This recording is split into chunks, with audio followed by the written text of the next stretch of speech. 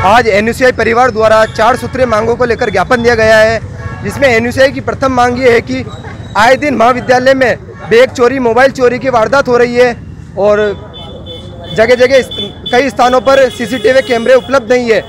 प्राचार्य मुद्दे से हमने आश्वास बात की है कि जल्द से जल्द कैमरे उपलब्ध कराए जाए। हमारी दूसरी मांग ये है कि हर क्लासरूम में पंखे चालू नहीं है, जल्द से जल्द पंखे चालू कराए जाए। महाविद्यालय में छात्र छात्रों को बहुत परेशानी का सामना करना पड़ता है। तीसरी मांग ये है कि छः महीने से बंद पड़ी कैंटीन को जल्द से जल्द चालू कराई जाए। आए दिन प्रचार्य मोदी हमारे को आश्वासन दे रहे हैं और अभी तक कोई कार्य नहीं कर रहे हैं। हमारी यही मांग है कि जल्द से जल्द कैंटीन खोली जाए और हमारी मांग मानी जाए। और चौथी मांग ये है कि छात्र संघ चुनावों की तिथि आगे बढ़ाई जाए, जिससे यूजी के एडमिशन स्टार्ट नहीं हुए और काफ़ी छात्र छात्राएँ वंचित रह जाएँगे वोट देने से और छात्र संघ चुनाव लड़ने से। दो साल से कोरोना काल में छात्र संघ चुनाव नहीं हो पाए हैं। और मैं हमारे जननायक अशोक गहलोत जी का धन्यवाद देता हूँ कि उन्होंने छात्र संघ चुनाव को हरी झंडी दी है और हमारे प्रदेश अध्यक्ष अभिषेक चौधरी जी का भी बंकित गारू अध्यक्ष पद प्रत्याशी राजसीमा विद्यालय Ajmer.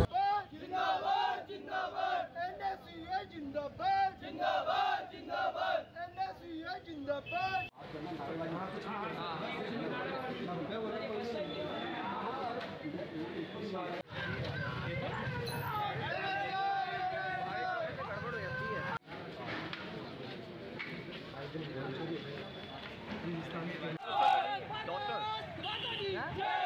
doctor doctor doctor কপর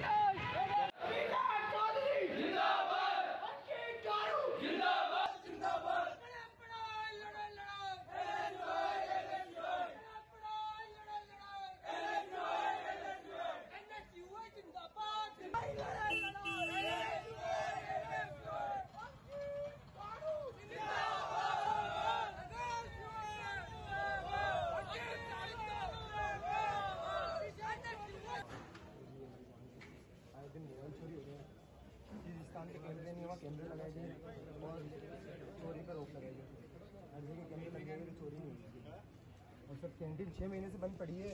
बाहर से जो बच्चे आते हैं गाँव गाँव से और वो फिर उनको बाहर जाना पड़ता है। कभी कुछ हादसा हो हादसा हो गया लड़की लड़का से भी बाहर जाते हैं सर छात्र छात्र कोई हादसा हो जाए तो सर उसकी ज़िम्मेदारी कौन लेगा? सर कॉलेज के अंदर एटलीस्ट एक कैंटीन तो ओपन होनी चाहिए। सर इतने सारे स्टूडेंट्स हैं।